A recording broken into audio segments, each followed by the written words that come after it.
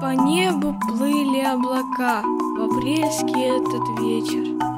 Шел по дороге мальчуган, трехлетний человечек. Река попалась на пути, малыш подходит к речке. Он хочет речку перейти по тоненькой дощечке. Но оступился и упал. Его несет течение.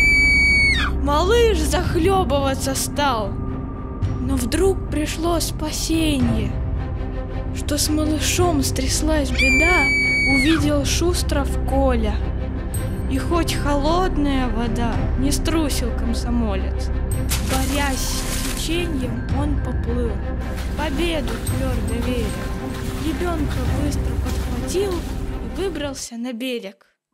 Так комсомолец юный спас Демяжникова Витю. Ребята, призываю вас, с него пример берите.